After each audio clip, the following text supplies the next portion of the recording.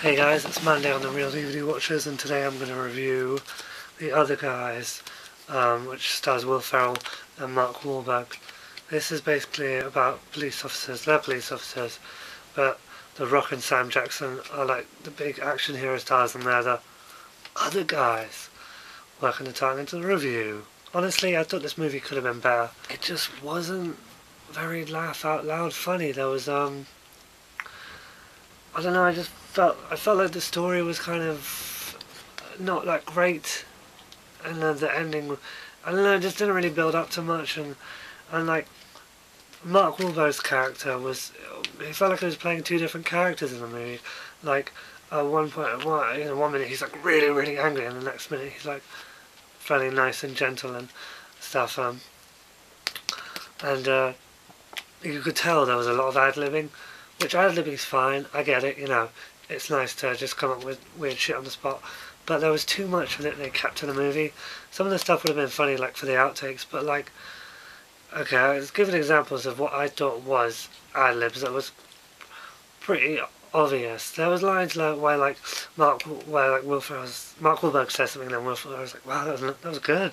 He's like, "Yeah, I heard an episode of Touched by an Angel," and I'm like, uh, just I don't know, I just felt like just a bit random and just and there's a bit where like they get blown up blown up they get blown up and they're on the floor and then um and they're like oh, I don't know how guys in movies do that the movies lie and then like in Empire Strikes Back they lie like you're like don't have a bad mouth Star Wars and, and I just I don't know I just felt a bit like they're dragging the jokes on a bit too much. And some of the, there was a bit where like uh, Eva Mendes is going on about how she gets out her press for Will Ferrell before he goes uh, when he comes home or something and I was just like really?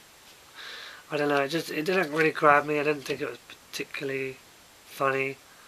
I mean I, I say that and there was funny stuff in it but it did make me laugh at times.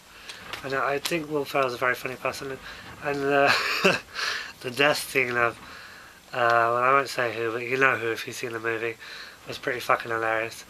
And the music to that was great um, but overall, overall, I don't know. It felt like it was. There were moments that were very funny, but some, but then other times it was just like, ugh, it's dragging out jokes too long and just, just kind of like I felt like they should, they were gonna, they felt like they weren't sure what they wanted to do with the movie, and the whole thing with Mark Wahlberg and his girlfriend wasn't really explored, and like at the beginning of it, I was like, look, we're taking the piss out of big action movies, isn't this great? And then it's like, I don't know, I just felt like they could have stuck with that a bit more and had some over-the-top extravagant action scenes. They've done more stuff where it's like, hey, well, how did you learn to do that? It's like Grand Theft Auto.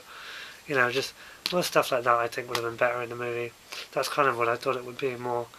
Um, but yeah, the other guys didn't. I mean, I didn't. I say um, it sounds like a bad mouthing the film. I didn't hate it. I did kind of enjoy it, and I'd recommend renting it. But as far as like, I think it could have been a lot better, to be honest. So that's my review of the other guys. I'd probably give it like a 6 out of 10. Yeah, I think that's fair. Um, yeah, I hope you enjoyed it and I'll see you next week. Peace.